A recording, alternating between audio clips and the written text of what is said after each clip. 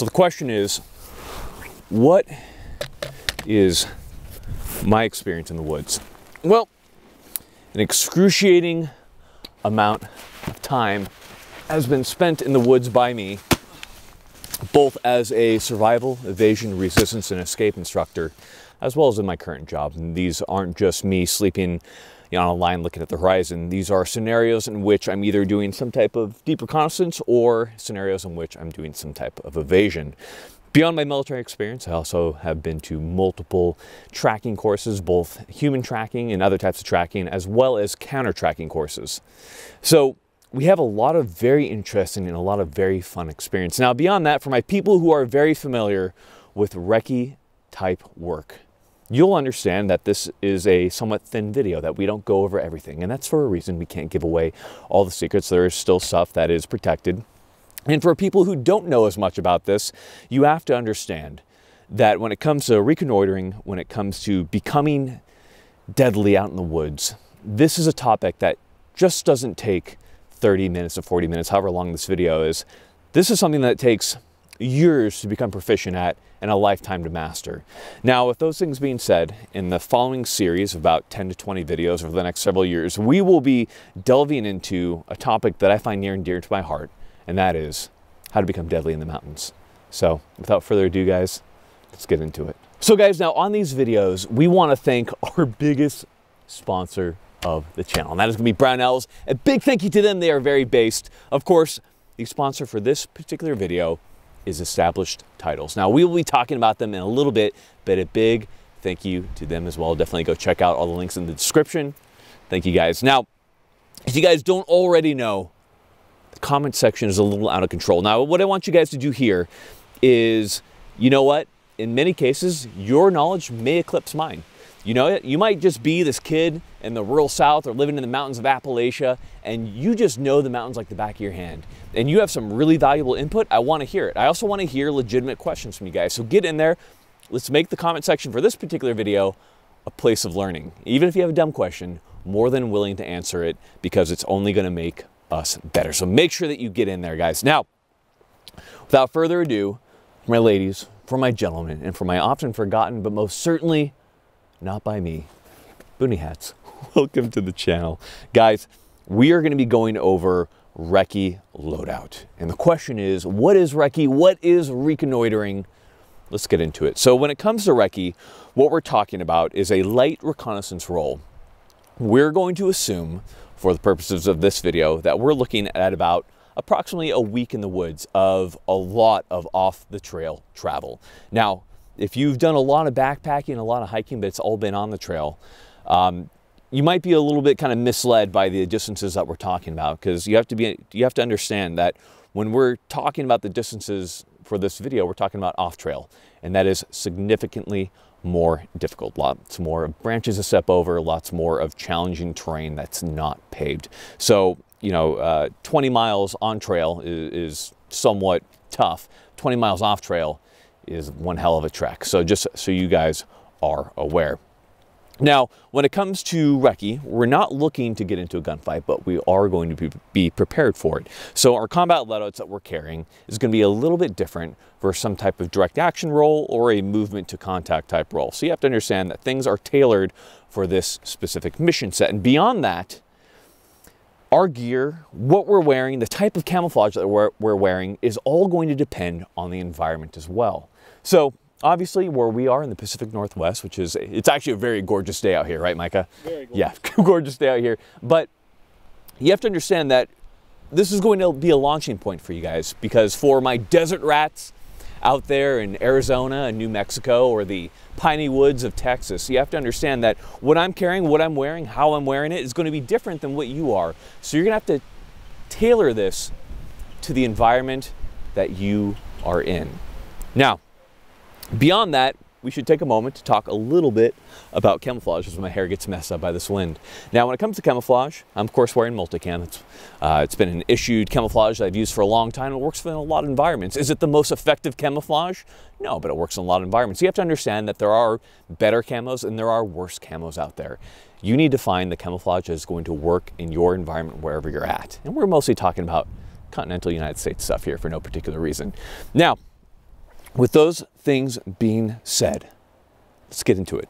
So there's a couple I guess the best way I want to put it is when it comes to reconnoitering, I like to put everything kind of into a box when it comes to how we're setting up our gear.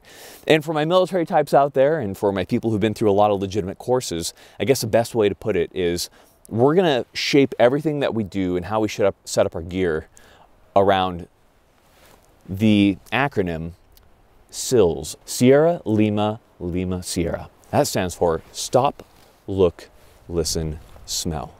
So what does that mean?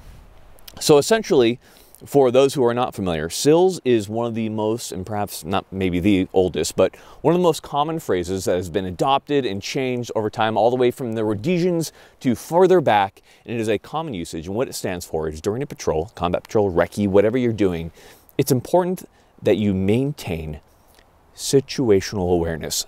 That situational awareness can be increased by using SILS. So what we're going to do is as we're on patrol, we're walking periodically, depending on how intense that environment is, how close we think an enemy might be, or whatever type of contested environment we're in, we're going to stop.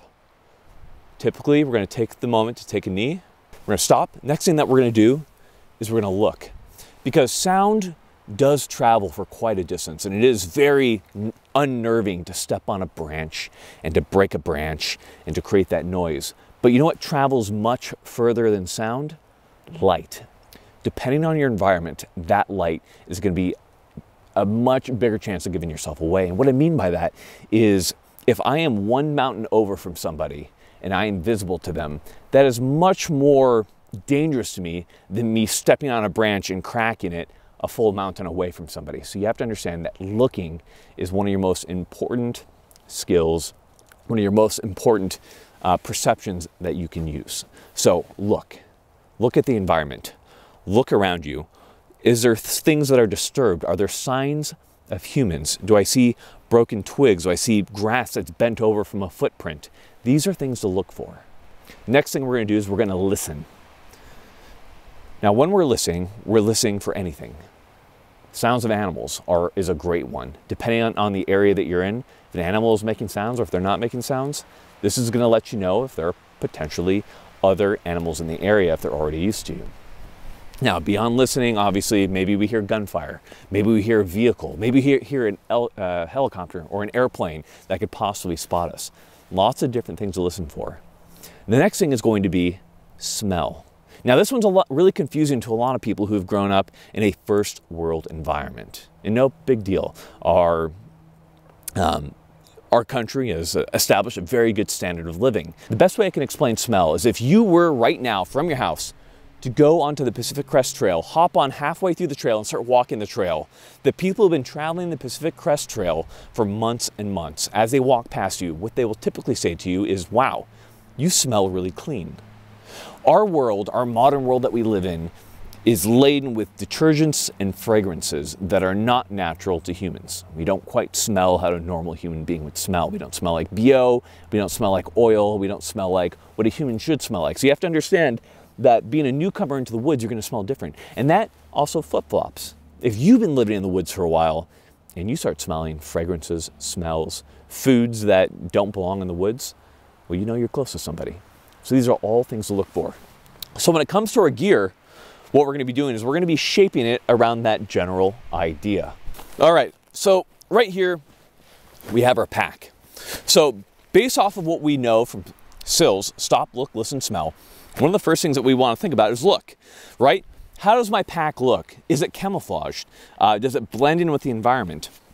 So one thing that I have right here, and something that you should always have on your pack, is some type of rain cover. Now, the reason we want a rain cover is twofold. One, we don't want things inside our pack to become wet. Now, there are packs that are waterproof, but if at all possible, if I can keep that rain off the pack, all the better. In addition to that, depending on the type of pack that you have, you may have a pack that's not camouflaged, and that might give you away. So a pack cover is a great way to immediately establish that camouflage. And for a lot of pack covers, they're also reversible to where one side will be a woodland or a multicam and the reverse side will either be an emergency signaling color or per perhaps some type of over white. So if you're traveling through a snowy environment, you can flip that camo, camo over and get a different type of camouflage on your bag. Now, If you don't have a pack cover, if all you have is a pack, NBD. You can also add natural vegetation to your pack in order to disguise it. Now, the biggest thing is you don't want to be a walking bush, but you want to naturally camouflage it. Have the vegetation oriented in a natural way and to not look unnatural. If you look like a just moving Sasquatch, you're going to attract attention. Try not to attract attention, guys. Now, when it comes to our packs, there are a million, million different packs out there. In fact, my camera guy, you've done quite a bit of backpacking in your day, haven't you, Micah? Oh, bunch. Yeah, man. So as you know, uh, how many different you know backpack companies can you think of? Off, too many. Yeah. There are too many. Now, I will tell you a couple ones that I generally go with. So obviously one of my favorites are Exo Mountain Gear. I've used them for a long time. I'm not paid by these guys or anything like that. I just really like their packs. Now there are of course other military types packs like Mystery Ranch, Hill People Gear. Uh, I love Hill People Gear, they're great guys. Um, tons of different companies. Of course you have your normal ones that you know of, Stone Glacier, um, Gregory, Osprey. There are a bunch of packs out there. Find one that fits your budget and that works for you. But I'll tell you a couple things that in general I like about my packs. One, I prefer some type of internal frame backpack. Now, if you are a die-hard Alice type guy, you just need to have your Alice pack, good for you. Those definitely work. But understand because I think that there are a lot of things going for an internally framed pack. Now, beyond that, you also want a very generous kidney pad. The reason for that is a lot of people, the first time they backpack, believe that all the weight should be on their shoulders. That is not the case. You should be putting about a solid 80 to, uh, I'd say 70 to 80% of that weight on your hips. It's gonna make your life a lot better. Now, what you can also do is, as you have these packs on, you can shift the weight. So what I mean by that is, Mike, if you want to come in here a little closer. So right now, I have this guy cinched up on my hips. There is almost no weight on my shoulders right now. That feels pretty good. As I'm hiking, invariably my hips are gonna become sore, I'm gonna become tired. So what you can do at that point is you can loosen your kidney straps and then you can put more of that weight on your shoulders or you can do a good in between. This is nice as it allows you to shift weight throughout the day. So if you're traveling 20, 30 miles, that's gonna be really nice to be able to shift that load and that burden, allow your shoulders to rest, allow your hips to rest, and depending on whether you're going uphill or downhill, for a lot of people, certain types of weight distributions are gonna feel better. Some people just like to have that weight on their shoulders when they're going downhill. That's fine. You're gonna need to find what works for you. And that can only happen by getting out there in the woods. When it comes to our packs, a couple things that you want to have in here, and this is going to be very general. This isn't specifically set up for any particular mission right now uh, or any particular trip, but rather is set up in general to give you an idea of things to have in your pack. So generally how we have it is we want to have our bulky, loose items at the bottom of our pack. I'm laughing because I'm looking at my uh, my sleeping bag at the very bottom here. This is going to be like one of the items I use the least amount of times. And uh, I still have it marked from the military as Jones motherfucker. So at the very bottom, you're going to have our bulky items. So we have things like extra clothes, or in this case, we have our sleeping bag in a compression sack. And you should have your sleeping bag in a compression sack, by the way. Beyond that, you're going to want to be able to space yourself off from the bottom of the earth. The earth is going to be cold, especially in the mountains, the type of environments that we're going to be in out here. So we have some type of ground pad. Now this is an inflatable one.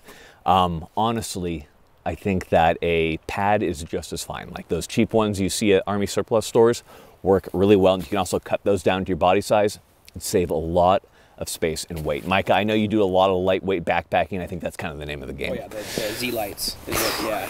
Mike, Mike is very Gucci when it comes to this stuff. So we have these. Now in our middle, we have stuff that I might need to get to a little bit more often. So right here, what I have is I have both my bivy, bivy sack, as well as my mosquito net cover. Mosquitoes, fuck them. So I want to have a mosquito net. And then of course a bivy, I want to be able to keep myself out of the rain. Now in a recce type role, I might not be sleeping that much depending on what I'm doing, but much more so than my sleeping bag right here, I will definitely be using my bivy in order to stay out of the elements as they come to be able to sleep. Um, comfort is kind of a big thing. If you can have a little bit of comfort, that can definitely help you. Of course, be used to being uncomfortable when it comes to this type of stuff, but at the same time, if you can give yourself a little bit of morale, this is where it's at. Guys, this video is sponsored by Established Titles. I am now Lord Grantham because I own one square foot somewhere in Scotland. So Established Titles is a project based on a historic Scottish custom where landowners are referred to as lairds, lords, and ladies. Established titles allows people to buy as little as one square foot of dedicated land so they can call themselves a laird, lord, or lady. Now, in return, what they do is they commit to plant a tree with every order to protect the beautiful, pristine woodlands of Scotland. Now, it's also just a fun little way to get a fun little gift for friends or something. You know, you don't know what to get them? Make them a lord, make them a lady, and at the same time, you're getting trees planted. Established Titles also supports global charities like One Tree Planted and Trees for the Future to help with our afforestation efforts. Now, these title packs give you one square foot of dedicated land in Scotland. Use discount code GRANT for 10% off. But the point is, go down there, check out the link, and a big thank you to Established Titles. Again, Lord Grantham, ridiculous, but super fun. Thank you guys. Let's get back to the video. Now, in addition here, for kind of reference, I have some meals right here. Now, these are just representative. When it comes to what I'm actually carrying in a recce type roll, that was for an upcoming trip, um, what I typically use is pretty simple foods. I usually use tortillas, got to go with those as well as peanut butter. That's like my go-to meal. In addition to that, I will typically pack um, dried fruit for vitamins and nutrients as well as some type of trail mix. That is pretty much a go-to and a big thing with a lot of lightweight backpackers is also using some type of green powder to pour into your water source. So those are thoughts right there. Now right here towards the bottom, I have my Gore-Tex bottoms along with underwear wrapped up in them. Um, this is important if my pants get completely wrecked to the point where I can't use them anymore, I need to change, they get soaked. I don't wanna fucking die of hypothermia. Extra Gore-Tex pants. From here, going towards the top, I, of course, have my CamelBak. Now, some people don't use CamelBaks. Some people will simply use some type of water bottle. That's up to you. But this is my water source, and we'll talk more about that in just a moment. Towards the very top of my pack, I have a Gore-Tex top. Um, you don't want to die in the rain. So having an extra top in addition to this weather layer that I have on right now is going to be vitally important. And at the very tippy top of my pack, the most important thing extra socks. God, as I lose all of them. Socks are important, guys. Um, when it comes to socks, get merino wool, get good ones. Um, honestly, when it comes down to it, Kirkland, um, darn tough, tons of great ones out there. Um, get you some merino wool socks, though. They will save your life. So that is what's going into the bulk of our pack. At the very bottom here, I have a poncho. That's for light considerations at night when I'm checking a map. A poncho is always important. It can also make a very easy, expedient shelter if you're doing any type of observation work. So we always have our poncho on us. Now, probably doubly important when we're talking about what to have on your pack, that's going to be a way to purify water.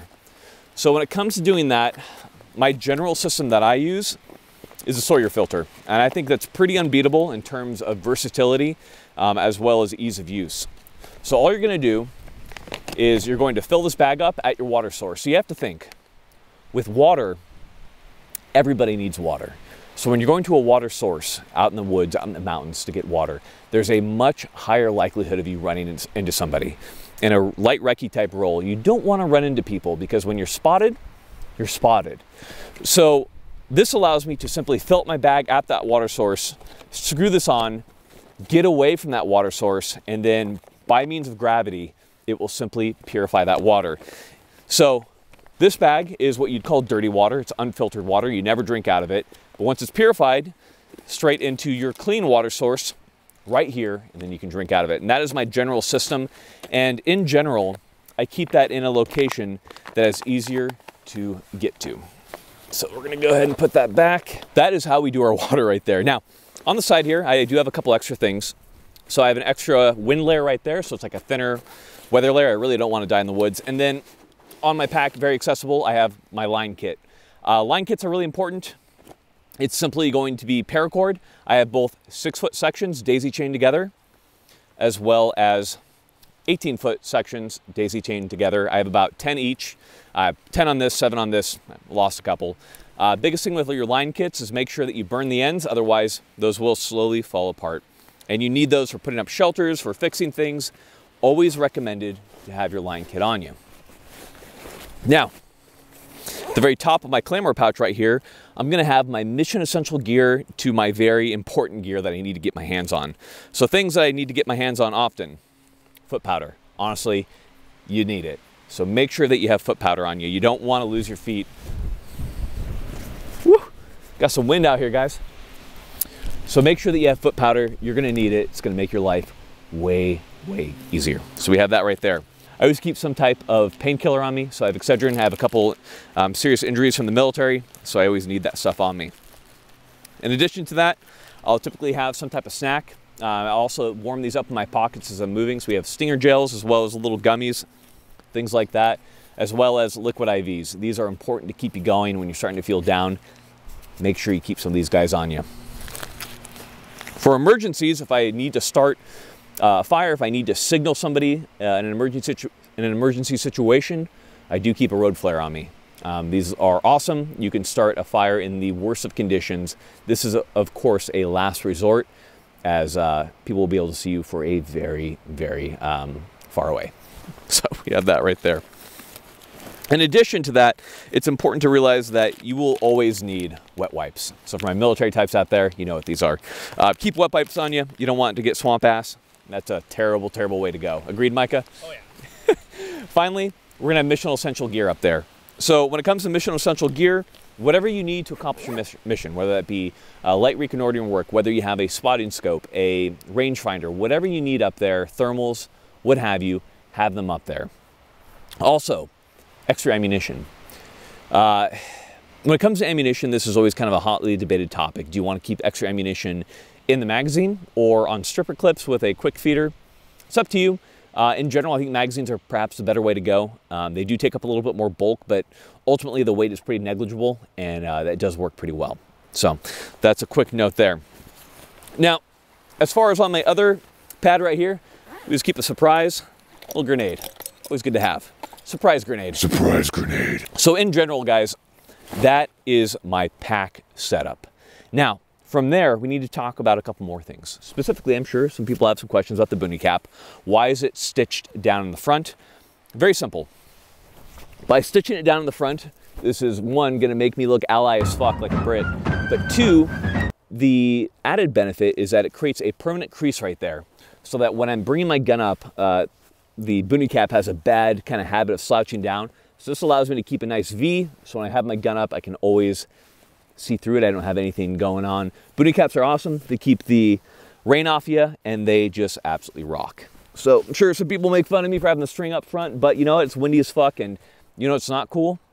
Losing your fucking hat in the wind because I've seen it happen multiple times. Now going down from there, we of course have our kit set up right here. So when it comes to our chest rig setup, there are a lot of different ways to do it. I've used this one for many, many years um, in both military and civilian use. And this is a Mayflower Gen 4 rig. So first off, we have six magazines on us. We have one, two, three, four going across, as well as two extra right here. So this gives me my combat loadout of six magazines plus one in the gun. That is your general combat loadout and is what I generally recommend. Beyond there, what do I have going on in this? We have, of course, a Surprise grenade. always a surprise grenade. Grenades are always good to have. Okay, now also behind our chest rig right here, we do have a pouch to include maps, mission essential gear, all that type of stuff. So that is going to be good to go. Now, beyond that, what do I have at the front here? So I have tourniquet right there. It's going to be important to have a med kit.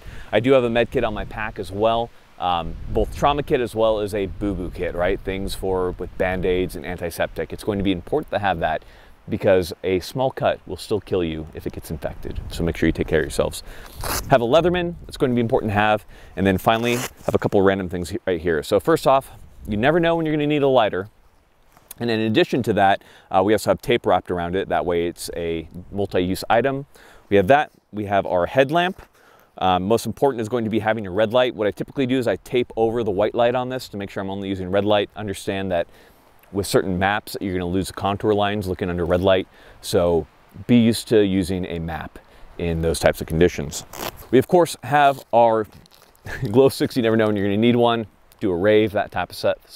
So if you're planning on carrying a radio, you're with a like-minded group of individuals, um, a couple things to consider.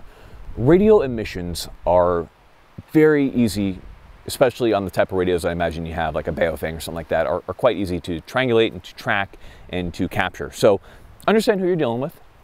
Um, and then if you can, get some type of crypto radio. They're out there, persistent systems for one. And uh, also think about your cell phone. Your cell phone is literally a tracking and listening device. So think about that. Okay, so we've talked about our chest rig here, a couple other things. So we have our jacket right here, right? So in general, you want a three-tiered layering system. So you want a base layer, you want a insulating layer, and you want a weather layer. So our base layer, um, I typically recommend some type of synthetic. Um, the general adage is cotton kills because uh, once uh, cotton gets wet, does not insulate you, you will freeze to death and die, and that is not cool. So some type of synthetic layer or wool works as well, or silk. Um, so we just have a simple synthetic t-shirt. Uh, beyond that, some type of insulating layer. Now it's not too cold right now, so we just have a nice little waffle top from my military days. Those work really well, as well as a wool layer or whatever you might need. A down will compact down really well. However, uh, just be aware of the pluses and minuses to each of those. We're not going to get into it too too uh, too much today. And then finally, your weather layer. So something to block the wind, to block the rain, to ensure that all those layers under that don't get wet. And that is your general layering system. Now, beyond that, when it comes to pants, a lot of people argue for and against Gore-Tex pants. Um, I typically don't wear Gore-Tex pants unless it's getting really, really bad. In general, I'll do my pants along with some type of gaiters. So gaiters are always the way to go, always have them on you. Um, I've used these things for close to three, four, uh, I've used these things for like six years now and they absolutely rock. So gaiters are gonna be important. I typically keep those on the side of my pack just so you guys are aware. Now beyond that, if you notice in the combat pants, I'm not wearing the knee pads that stick out. Rather, I have the internal knee pads that can be covered. And the reason for that is that, especially in the woods, the woods is a greedy bitch and she will take your knee pads and she will snatch them from your combat pants and you will never, ever see them again. So I always go internal on those, um, just as a quick note. Now, when we get down to our boots, of course, we have some type of merino wool sock. And what I typically do is I will fold these down to allow sweat to escape. And then, if possible, I usually go with some type of full grain leather boot. And the reason for that is these can be treated with Sno-Seal. So in the mountains, in the snow, they will repel that water. That has worked, that has been what's worked really well for me. Now, depending on your environment, a leather boot might not be a good option. So again, find the type of boot that's going to work well for you. In general, there's a lot of good boot types out there. Um, these are Asolos. We have Lowas as well. Of course, Rocky, um, Vasque, Salomon, tons of great boots out there. Find one that fits your feet well and that works in your particular situation. Two final notes here when it comes to Recce loadout. If you have some type of map, even if it's waterproof, and it should be waterproof, make sure that you have it in some type of protective case to ensure that your map doesn't get destroyed. That's gonna be very important. So some type of map case. And then finally, your rifle. Your rifle is gonna be something that's going to be suited for the particular mission that you're in.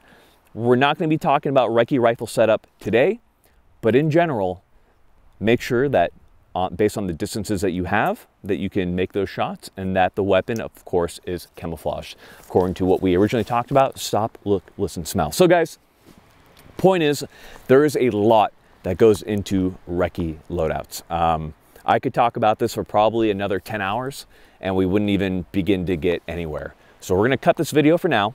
There will be more parts coming as we delve into more specific topics within this particular subject matter. Both movement, both team movements and communications, uh, weapon setup, as well as tracking and counter tracking. And to be clear, we will be going into the mountains um, in future videos with a small team, and we will be going over these ad nauseum in depth over several days, as well as having a helo with thermal technology, which will be trying to catch us. And we'll be going over all of that good stuff. So lots more to come. Really excited to give you guys my knowledge. Get in the comments. Tell me what worked, what didn't work, and any questions you might have, always willing to hear them. And as always, when it comes to this particular video, get out there and use your gear. Otherwise, you're not gonna know what you need and what you don't need. Ladies and gentlemen, thank you so much for watching. I've got nothing else for you. You know what's cool? Shooting. You know what's even cooler? Living. Fieldcraft is vitally important, and it's something that we're gonna be touching upon a lot in the coming months. So make sure that you get out there, you try those fieldcraft skills. I want you to be able to start a civilization with your knowledge and your skills that you have from these and other videos. Get out there, ladies and gentlemen. Love you guys. Can't wait for the future videos. Take care.